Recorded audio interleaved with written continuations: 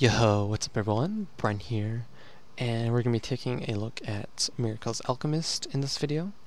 So, he's going to be playing him mid, and let's just get right into it guys. So, for a starting item build, he's going to be starting with a Quelling Blade, a Stout Shield, a Faerie Fire, one Iron Branch, and then two Pooled Tangos.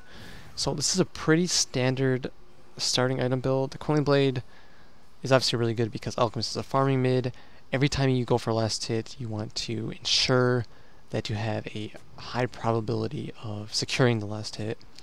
Um, his base damage isn't the best, doesn't have the best attack animation either, so it's almost always a good investment on Alchemist to start with the Quelling Blade.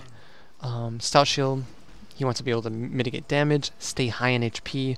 If he's high in HP, it decreases the chance that the Pudge ganks will be successful. Obviously, you see Pudge pressuring him, and right there, he just popped his Faerie Fire, guys. Even though he was on max HP. Um, so definitely a misclick, but it does happen. I, you want to be able to... Like, normally you want to just sit on that Faerie Fire because uh, it gives you 2 damage. Uh, it can help you out. It can help you survive ganks. Um, all around, it's just an amazing item right now. But, you know, even the best players have misclick, so that sucks. He'll have to play around that now. Um, so he pops his salve. One thing I didn't mention, guys, is the moment that the courier got to him and brought him his salve, because he bought two slippers of agility with his starting gold and or with the bounty gold and the starting gold that he that he had saved over, and he also bought a bought a salve. And when he brought it over to him on the courier, he also popped his tango right away to give him a slot and the Tango, it's HP per second, so it was still useful. Just something that I didn't mention. So he also buys a wand. Um, the wand's it's pretty much always a good buy against Storm Spirits, but even, but especially in this game because he's always going to be pressuring the lane in. Like every time he uses Acid Spray, he's gonna be pushing it pushing the lane into Storm Spirit's side. Storm Spirit's going to be having, he'll have to do a lot of last hitting under tower, and if Miracle's kind of just playing around him, um, he'll be able to get easy stick charges because Storm Spirit, in order for him to guarantee the last hits, he's going to have to be using uh, Electric Vortex, or Static Remnant, I mean. So he'll be able to get a lot of charges, and the charges are also going to be good because it's just going to make Pudge's ganks even less successful. Um, but yeah. Even even still, like Storm will have to. He'll be low on mana too because he's going to have to constantly be using his mana to get last hits under tower. So stick is definitely really good, and he's going for a ring of regen. So he's going to be going for the Soul Ring build, and it's pretty strong. Pretty much, I feel like most Alchemist players go for that um, instead of the bottle recently because Bottle's been nerfed over the patches, guys. It only gives 60 per charge now, so 180 mana for the entire bottle use. And Soul Ring gives... It gives 150 mana on a 30 second cooldown, guys. And on top of that, you also get the 50% mana regen.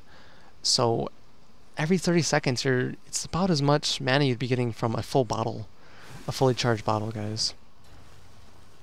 So Soul Ring has kind of replaced it in that in that sense. But I still think that on some other farming mids, like let's say a Juggernaut, um, the bottle is going to be the better buy because on Juggernaut, you're going to be playing a lot more of an active early game. Like if you get a haste, if you can an invis, invis rune, you can get really active on the map and help your teammates. So right here, he throws down the acid spray, and then just goes for some auto attacks. That was definitely just overcommittal by the Pudge. Not much to say there. I Just went over to the Shadow Shaman immediately. But obviously that was that was definitely a good play by Shadow Shaman to be in that area. But yeah, Soul Ring is definitely really good. But like I was saying, if if you're on an active mid and kind of like a semi-carry mid that where you have the potential to be active, but you also want to farm, with like let's say a Juggernaut. Um, if you sometimes you, will be able to bottle up a haste or an Invis rune and um, use it to be aggressive when you when you see an opportunity. But he's playing Alchemist. He's not he's not going to be aggressive until he gets until he gets um like two items up, guys. He's just gonna be playing around the mid lane, uh, playing around his jungle. So he just wants to be able to farm as much as possible. So Soul, Soul Ring is gonna be really good. And right here, he's gonna be going for a stack. He pushed he pushed the lane in by using acid spray, cleared it as fast as possible, coming over here, and let's see how he does this. So he's gonna, probably going to be pulling it at 55. So he, throws out, he throws down the acid spray at 53, stack the, the medium camp, and then he pulls the hard camp at 55. So that should be a double stack, and that's just going to be a lot of a lot of gold that you can get uh, at a later time during this game. So it's really important when you're playing a mid, like Alchemist, like Shadow Fiend, like a TA, that once you get to the stage where you can actually start pushing in the lane, that you push in the lane, you go and stack, and then you can kind of just save the stacks, take them at a little bit of a later time in the game, and then you can start snowballing off the influx of gold that it gives you. Definitely helps a lot with your item timings. You know, pretty basic stuff, but something that you want to be doing. So you missed a stack right there He went and checked it, so that's definitely unfortunate. But it is a harder camp to stack, so he's right there, he's using his Quelling Blade on it to give the, the creeps actually a route to go through. So it's going to make the stacking a lot easier. Okay, so he's pulled it at 55 that time. On top of eating through. So that should definitely stack that time, I'd imagine. Um, but yeah. He ate the tree, or he cut down the tree and then gave the creeps a path just to increase the chance that he actually got the stack off. He pops his ultimate right there. Pretty much always just want to be popping your ultimate. It gives you mana, um, and when you're just kind of like farming in the face of a Storm Spirit, it just ensures that you're going to be high in, H high in HP. and the Pudge just comes around with the flank. Misses a hook. Uh, so Pudge has not been very successful in this game. He already died at the Shadow Shaman, and that was some pretty clowny, pretty clowny movement right there. But he doesn't get the stack again either, so that's just kind of a kind of a shitty, shitty camp to stack with acid spray. I think you really do need to be pulling it from the front, but he, he wants to prioritize stacking the hard camp because that'll give him more gold than stacking the medium camp. Pudge goes down again. Um, so yeah, just he he sacks the hard camp, and he's just coming right back mid. Throws down the acid spray preemptively. He knows that the creeps are gonna be coming. Um, he should have the entire acid spray duration for these creeps, guys. And on top of that, he was able to throw it down early, just to get the catapult down even earlier. So no wasted time on the acid spray. Um, he didn't wait until the lane creeps met with the catapult to throw it down just throws it down right away, knows that you know he's not going to be wasting any of the acid spray duration. And he's just going to be going into an armlet. Also pretty standard. There was a time where, well, there was a time where people weren't going for armlet, but armlet was also work worse back then, so rushing the radiance was arguably better in a lot of situations. Gets a good bounty rune right there. It's definitely a big deal that he was able to just get that. Um, but yeah, now with armor also providing the extra 5 armor once you have it active, on top of the 5 base armor that, that it gives, um, there's really no reason not to go for it. Um, helps with your survivability, helps with your farming speed. Like, it helps with your farming speed enough that, uh, let's just say you're in a game where you're not taking too much pressure, you're still going to get around the same time um, with a with with just a radiance compared to just having with going for the armlet into the radiance. Like the timings, they will definitely be different. Um, the armlet build is going to have a slower radiance timing, but the fact that the armlet allows you to stay higher in HP, it means that you're you're able to farm in a little bit more difficult situations or difficult areas because you're going to be higher in HP, your survivability is going to be better, and it gives you more damage. So you, like, for this, like just like right here, he's able to clear these, clear the stack out a little bit faster. So the timings aren't that big in terms of when you actually get your radiance. And of course, once he gets the radiance, he's still going to be a lot more tankier compared to just only having the radiance. So. armlet build is definitely very good, guys. Hopefully I didn't confuse anyone um, with the way I just explained that. Low on HP, and he's not going mid. He's just kind of sitting around this area. I think he's a little bit worried. Yeah, he's a little bit worried maybe about going back mid. He sees the storm top actually. But he wants to be able to stack this and then immediately go for the rune. That's why he didn't go and clear mid initially. And let's see, is this going to be a bounty rune? No, it's double damage. It's still not that bad. It's pretty decent rune to get. Helps with your farming. Just to attack these creeps down. Keeps his stacks up. As his sprays go, still going for a little bit right there. And he should be able to go mid with only missing two... Nah, he's definitely misses more than two creeps right there. This is like four creeps probably, but still. Clears out the medium cap a little bit faster, so he doesn't have to do as much backtracking.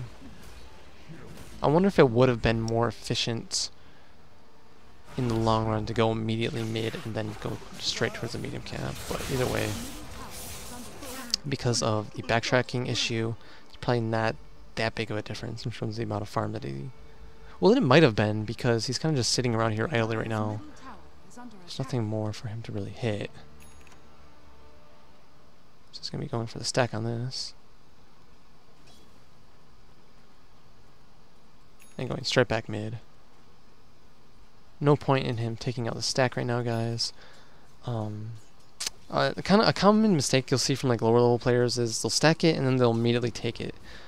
But there's no real reason to do that unless you think that your stack is going to be stolen. Because if you take this, if you take the stack right away, you miss out on the lane creeps. So that's just less farm that you're given. Um, and lane creeps are still really good at the stage of the game. You're still utilizing your own lane creeps damage in terms of helping you clear them. Um, and with just the way stacking works, you're not missing out anything basically. Um, in terms of the, in terms of your jungle farm, unless you have enough damage and movement speed that you can basically go from camp to camp and clear ex extremely fast. Like of course if you're like an anti-mage, you can basically just stack it and then take it immediately once you get your battle fury because at that point you'll have to worry about backtracking and uh, he just clears he clears areas so fast that he can just kind of just go straight in between them. But at this stage of the game, um, you want to stack it and then go straight back to mid and then just play around the rune timings, which he's been doing. Gets an illusion rune. It's not. It's actually not that bad of a rune right now because he has the armlet. Um, so armlet does apply to your illusions. He's gonna send that right to the enemy jungle. Yep, right to the enemy jungle. He should be able to get a few camps with this, probably two. Um, Elf hopes do a decent amount of damage. Actually, they're staying pretty high. He's definitely gonna be able to get more than two, actually. But Goes to check bot rune. Storm's already got it. And he already has 3.8 gold. But yeah. Um, he sent the illusions towards the enemy camp, towards the enemy jungle guys because of what I was saying. Like, he, he already, he's already efficient enough that he can clear mid and also kill the medium camp around here and get a stack off. So in terms of his area, there's not really too much extra farm that he can be getting in terms of keeping the illusions near him or sending him down mid lane, for example. Um, so he sends them towards the enemy jungle. Another thing he could have done is he could have had the illusions sit mid, I guess, and then have them clear the lane creeps while he focused on just clearing his own jungle. But with sending the illusions to the enemy jungle, he also denies some of their farm. And he goes right for the recipe first. So pretty standard. Like, he could get the relic and drop maybe the poor man's shield or the quelling blade. No, definitely not the quelling blade, but, but the poor man's shield if he wanted to, but it, it doesn't really boost his farm significantly enough because the way alchemist works is once he gets a relic he just he just gets the extra gold needed for the recipe just so incredibly fast that you'd rather just sit on the the poor man's shield to negate more damage uh, make you a little bit more survivable in terms of gank so he drops the wand right there.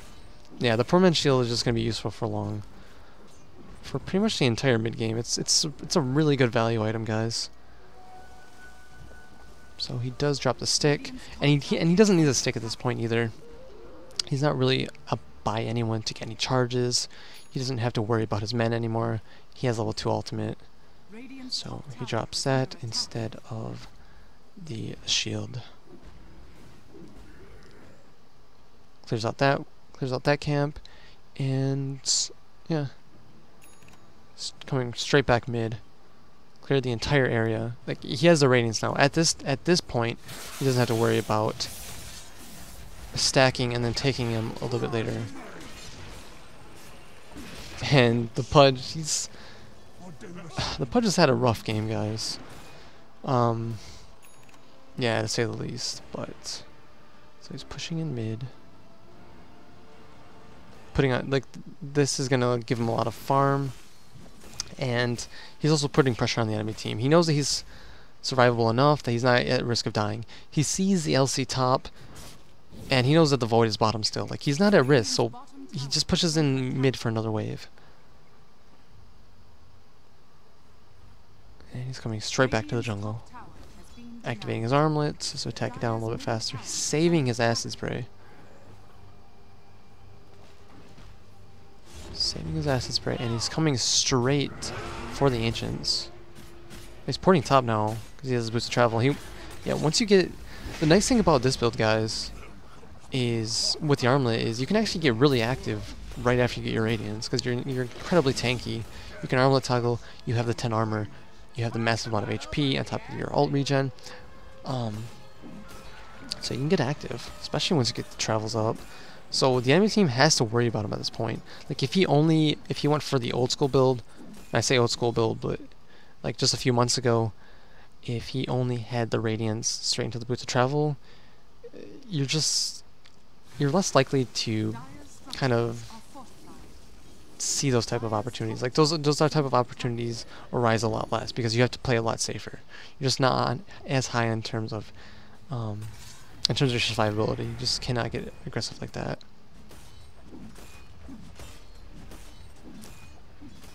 Goes for the Yasha, and just gonna be going straight for the Manta. Very very standard. Ports in mid. It's near ancient timing, so he's going to stack this. Yep. And then he goes straight for the bounty rune. Not wasting any time, being as efficient as possible. TP'd mid just to stack the ancients. Like, even though he was already top lane and he was some distance away, um, he's just going for maximum efficiency, guys. Not even not even holding it for, in case he's able to kind of turn around turn around a gank like he was able to in the top lane. Just being as efficient as possible. So he's still looking bottom. He knows that there's definitely enemy heroes down there, but he's not worried. Um, he knows that if he just plays his, his, safe farming game, he'll he'll get to a point where he can kind of overwhelm the enemy. Um, unless the enemy team is able to kind of shut him down at this point. Like once the alchemist gets his Radiance and his Manta, it just becomes incredibly difficult at that point, guys. You pretty much have to go late game and then try and get six slotted on, say, like your LC, your Storm Spirit in, in this game, for example. And then kind of stall the game out to a point where the Alchemist's six slots um, aren't as useful. But he, but even right now, you can give people Ags. So it extends Alchemist's usefulness for a little bit. And you can need moon shard, so. And he has his manta. So gonna be straight going gonna be going straight into his Octarine core, which he has in his quick buy. Pops his manta and the acid spray. So popped it right away once he got it, once he got around mid. And he's keeping two there. Sometimes you'll see players have one illusion in the lane and then they'll send one illusion into the enemy jungle to even get even more farm, even more farm denial for the enemy team. Oh, right here, guys, he's, he turned off his radiance, by the way, just to make sure that he gets a stack off. So definitely really smart play, especially for a stack like this, or a camp like this where you need to stack it at 55. You either need to turn it off, um, and then use your acid spray to you either need to have it on and then use your acid spray to stack it, or what he did there was just a smarter play. Turn it off, and then uh, just turn it on once it hits 55 and then stack it with that method. But yeah, sometimes you'll see what he's doing right now where he'll send one one illusion into the jungle and then one illusion that's going to be pushing the lane. This is pretty much how you maximize your farm. Like you don't need two illusions in the lane, guys. Um, very common mistake that you'll see players make. They'll have they'll once on very common on heroes like Naga as well is they'll send two illusions down a lane when they don't need to be. You only need one illusion in the lane to get every single last hit. Um, just with some some micro and then you can send the other illusion to maybe run enemy supports, get them lower in HP, or more often than not, you just use it to send it towards a a jungle jungle camp, and then you get more farm, being even more efficient. But right there, he's actually sent two straight down mid. I assume that he did that in that situation because he wants to be able to put on as much lane pressure as possible.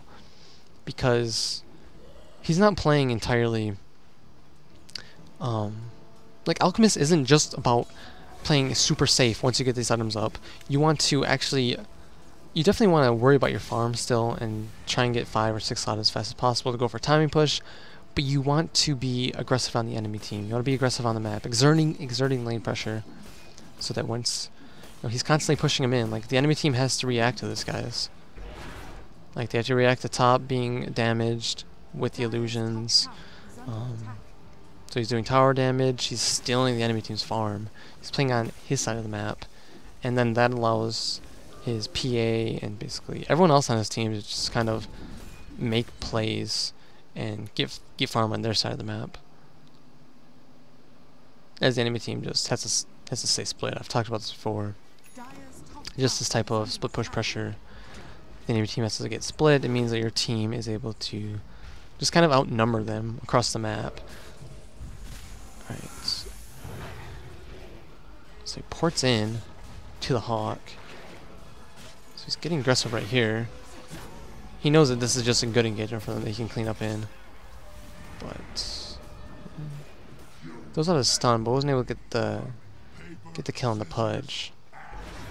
But it's still a two for two. Definitely a trade he wants to take. And at this point, he has to be he has he has to be worried about comeback gold, guys. It's about a 10k gold lead right now for his team. So any deaths that his teammates give up are just going to be a shit ton of gold. So that's just another reason why it's important to play aggressive on the map once you get a lead like this. Like, he's really at no risk. Sure, you might be able to be a little bit more, be able to get more, be a bit more efficient in terms of um, just kind of like staying on your side of the map and focusing on clearing your own jungle and clearing out your safe lane and your mid lane. But you're not putting on as much pressure.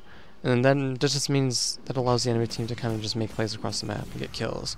But with the way that he's playing right now, where he's constantly pushing in top lane and mid lane and stealing the enemy jungle, he's taking away not only their farm, but their opportunities as well, because they have to stay split. They have to defend this, defend against this uh, multi-lane pressure two illusion, two illusions in lane right there because he's just getting damage on the void. The void's attacking him.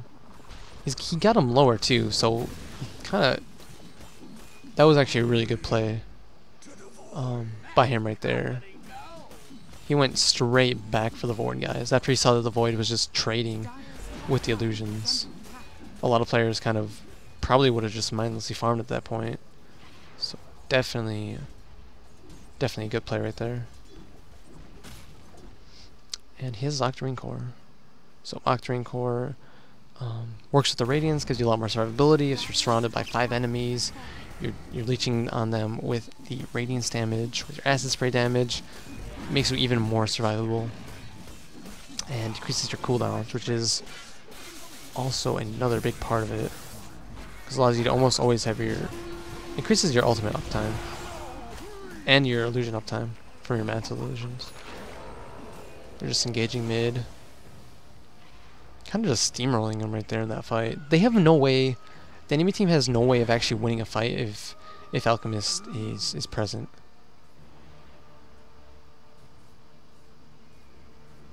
And he's going right for the moon shards. Right for a moon shard. Actually, what does he have on the courier? What did he just buy? Oh, Mjolnir, Mjolnir, okay, yeah. So he has a Mjolnir, and now he's going to be going into the Moonshard. So his attack speed is pretty insane. Um, yeah, and he just goes straight for the damage follow-up. It's a damage follow-up, and it gives him even more AoE damage. Uh, do they have vision? Yes, they do. That is a dead LC. Um, you know, maybe if the game is a little bit closer, or maybe, or maybe you don't have as big of a lead in the game as Alchemist, you might want to, you might go for an AC just to ensure that the push is going to be pretty strong, and to increase your survivability. But he's not worried at this at, at this point yet, guys. The enemy team just doesn't have enough damage for him. Gets a triple right there. And yeah, I don't actually. There's just no way that the enemy team is going to be able to stall this out, guys. So let's just kind of play this at 2x, see what happens. Yeah, this game's actually just fucking over, guys. You know, some people will will say, you know, uh, you know, Dire has a chance, but it just is not happening, guys. The enemy team is just kind of falling apart and they needed to have a bigger lead at this point, or just shut the Alchemist down. So let's just kind of go to the end. It looks like it drags on. Probably some tower diving shenanigans or something. Let's see. I will show the score screen, guys. I know I'm not always the best with that. Let's see if it pops up even. So it's just it's just not gonna pop up actually, guys. So here is basically this score screen, I guess, right here on the left.